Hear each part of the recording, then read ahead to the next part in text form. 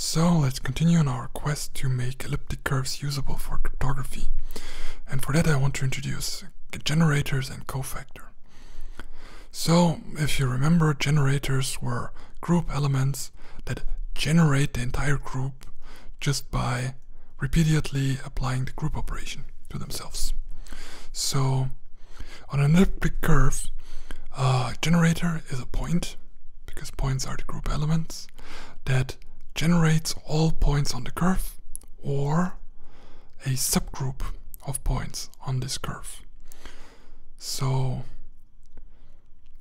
on our toy curve to 2000 mod 2503 we have the point g which generates a subgroup of size 37 now what does that mean well if we add g to itself repeatedly g g plus g g plus g plus g we add we reach different points and after 37 of them we end up at G again. So G generates this subgroup uh, that is shown here. These are all points that you can reach just by adding G to itself repeatedly.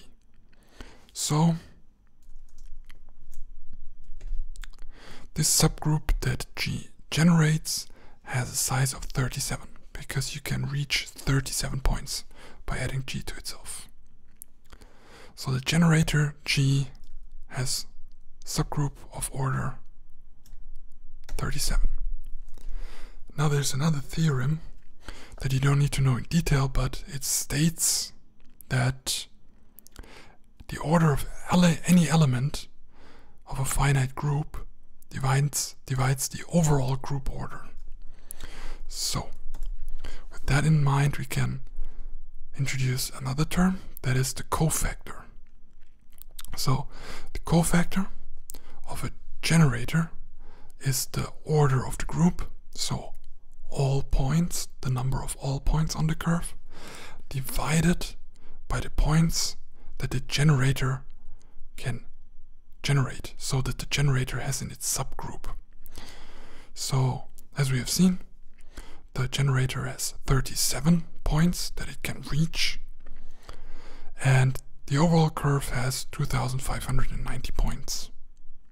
So the cofactor of this generator, the generator was this point here, the cofactor of this generator is 70.